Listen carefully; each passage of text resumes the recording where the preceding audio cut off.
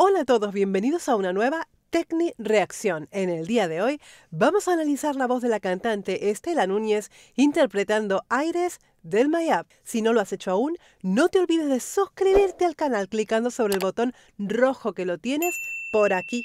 Y ya sabes, tu colaboración es indispensable para que este canal pueda continuar adelante, así que si puedes hacerlo, te dejo todos los detalles en la descripción. Bueno chicos, han sido muchísimas las peticiones de análisis de la voz de la cantante Estela Núñez. Me han dicho que me voy a sorprender muchísimo por la voz tan clara y el falsete tan bonito que tiene. La canción más pedida ha sido Aires del Mayab. Y allí vamos a analizar la voz. ¡Vamos allá! ¿Me van a ayudar a cantarla, eh?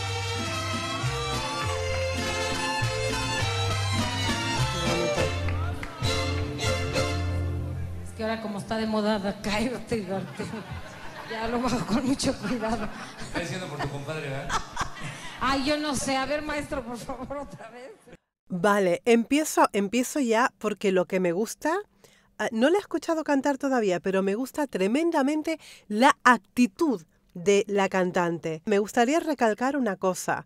Casi más se cae, pobrecita. Ha dado, un, ha dado un, un pequeño trasquilón en el escaloncito, pero me encanta por la actitud, ¿no? La forma de reírse de sus propios fallos, de ser natural. Me encanta la naturalidad de la gente, la naturalidad en los artistas. Lo, lo que está haciendo es acercarse aún más a la gente que la está mirando. Se demuestra que está cantando en vivo, ha parado la orquesta y supongo que ahora volverá a empezar. Mira. Me, me quitaron la onda. Venga. Ah, mi rebozo. Que no lo quería y esta es de metiche. Ok. Este es Acabo de enterarme lo que es un rebozo. Madre del amor hermoso, chicos, yo no sabía lo que significaba la palabra rebozo. Ahora, ahora lo estoy viendo. yucateca.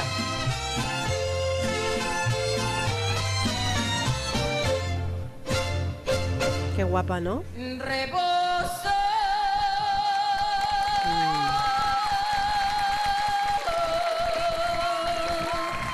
Bueno, de Santa María. Mestizas que bailan llenas de alborozo entre los encantos mil de mi vaquería. Tiene una voz tremendamente agradable de escuchar. Me gusta la cadencia con la que va cantando. Es como que va meciendo la canción, ¿no? Como mecer a un bebé. Exactamente eso es lo que está haciendo.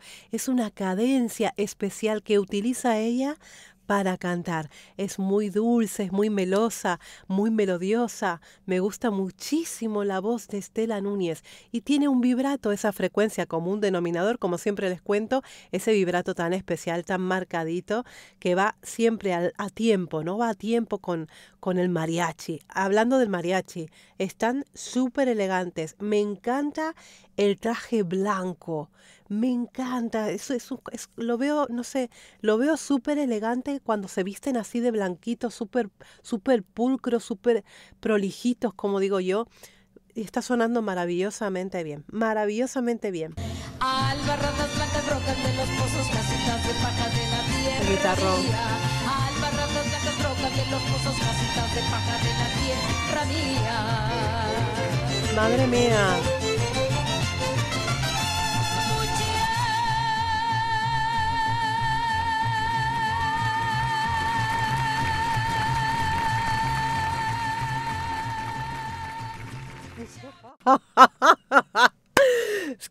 encanta de verdad. Vamos, tiene un belting. Vamos a ver en piano, que no sé qué nota está haciendo ahora. Lo vamos a ver ahora mismo. Vale, es una nota de pasaje, es un La 4, pero por lo que estoy viendo, a ella le queda tremendamente cómoda. Creo que tiene una tesitura más bien alta, ¿no? Para cantar, me parece a mí. La veo muy cómoda, la veo perfectamente colocada, precioso. Además tiene una buena capacidad aérea, sabe distribuir el aire muy bien para poder sostener esa nota es el A4 y además que la sostiene vibrada todo el tiempo, ¿no? Muy bonito, ¿eh? Muy bonito Estela Núñez. Flip. Zapato de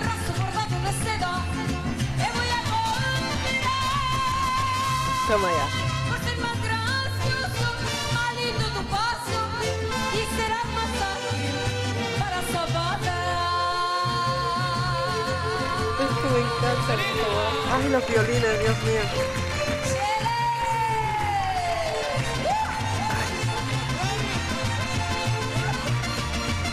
Me encanta. Uf, es que me encanta, es que me encanta, es que, ah, es que me llena de, de, de energía. Es que, uff, esta música tiene, te levanta un muerto, esta música levanta un muerto. Yo no sé si es que yo mm, en otros, en otra vida viví por allí. Pero de verdad que siento la música, me emociona, siento la música muchísimo. Me encanta el mariachi, por el amor de Dios. Mariachi San Francisco, no los conocía. Ya me pueden estar pasando información. Están en activo actualmente. Me gusta mucho cómo suenan. ¿Qué decirles de Estela Núñez? Tiene, como ya les decía, tiene una tesitura alta. Está haciendo voz de pecho constantemente, aunque utiliza ese paso al falsete en notas cortas, lo que se le llama el flip. Démela can- démela cantar. Vale, hace un, un poquito de falsete en algunas notas, como un, un llanto, es como si fuera un sollozo, ¿no? Para mezclarlo y, le, queda, le queda muy bonito, pero tiene una peculiaridad, la particularidad de la voz que tiene que es muy cristalina, se entiende todo. Otra cosa, otra cosa difícil de la canción es que es como una especie de trabalenguas, ¿no? Tiene muchos altibajos, tiene muchos, eh, muchos modos, ¿no? La canción, donde de repente puede sostener las notas, puede mecer la canción, pero de repente empieza a cantar rápido en un uptempo como si fuera un trabalenguas. Y eso es muy difícil de pronunciar tiene que tener una buena articulación para que la lengua no se le trabe, ¿no? Y eso también habla de una, de una buen, de un buen saber hacer, de una buena vocalización, ¿no? Vámonos a la vamos a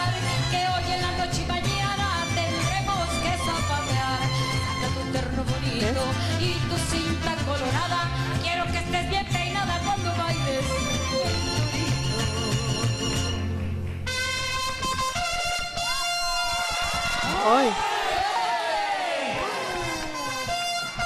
No me lo creo. ¡El toro! Esto está buenísimo. ¡Qué guay! Te vayas que vas a zapatear y No estoy con el toro. Me encanta. Es que es una crack, es que es una crack. ¿Te das cuenta la naturalidad? Cómo lo que hace un artista, que te hace que te hace que te lo pases bien, que te guste lo que estás mirando, da show, da show, además de la voz y del mariachi y todo, es tan importante el que está ahí adelante para, para dar show y para que la gente se lo pase bien y que se, se te pasa, se te pasa volando. Mira, ya está acabando la canción, se me pasa volando. Mi tanque de oxígeno, por favor. Ay Dios, ¿qué va a hacer? Ay Dios. Ay Dios. ¿A dónde fue?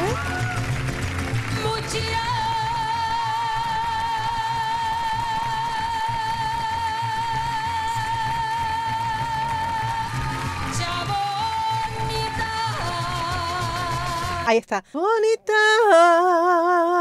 Ahí es cuando quiebra, ¿no? Cuando pasa el tieso. Esa voz ha vuelto a sostener en el La, en el La 4. Muy bonito. Sostiene muy bonito, muy bonito. Ay.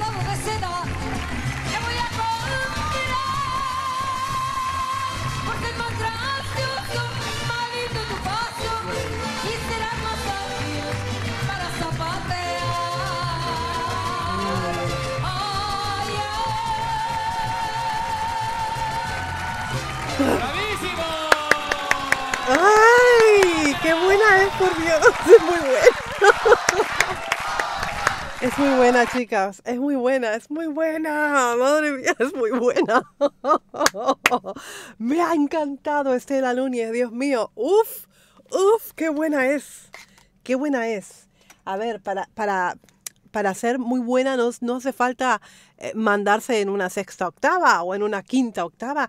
Simplemente con saber desarrollar bien lo que tienes y, trabajarlo de manera correcta, de manera impecable, como lo hace ella, ya eres una buena cantante. No hace falta tener 20 octavas en tu registro para ser un buen cantante. Lo que hace, lo que hace falta, porque yo siempre se los digo a los alumnos, los alumnos siempre quieren sumar más octavas, ¿no? Y llegar al más alto o llegar al más bajo. Siempre pasa lo mismo, pero a mí lo que me interesa, no, no, no, no me interesan las octavas que manejes, me interesa que lo que manejes lo hagas bien, lo hagas correctamente, lo hagas, no, correctamente no, lo hagas perfecto, porque ya solamente manejar tres octavas y manejarlas en condiciones ya cuesta muchísimo. No todo el mundo puede manejar la voz de manera perfecta, ¿no?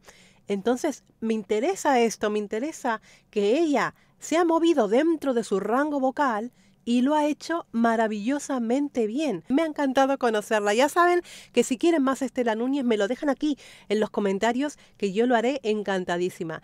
Espero vuestros likes si les ha gustado este vídeo, como los comentarios, las suscripciones, las colaboraciones, todo eso me ayuda a continuar adelante. Así que les voy a mandar un beso enorme desde Barcelona y como siempre les digo, muy buen trabajo para todos.